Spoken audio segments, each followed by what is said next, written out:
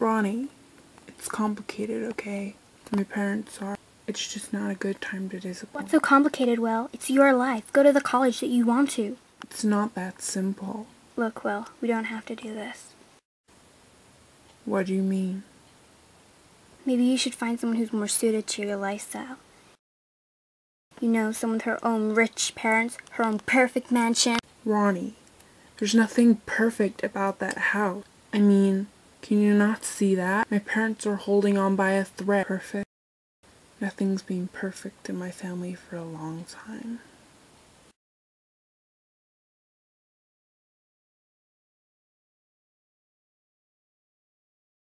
I had a brother, Mikey, died last year. How? Car accident. My mom was driving. Mickey and I were in the back seat goofing off, playing Mercy. We were being idiots. She turned around to tell us to stop. She lost control of the car.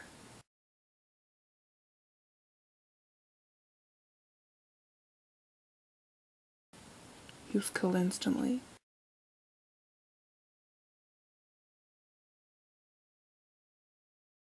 It's just so hard to feel happy in that house.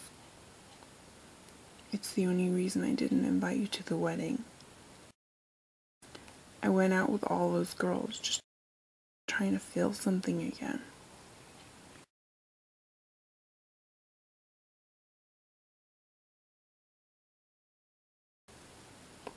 No one has made me feel like you, Ronnie.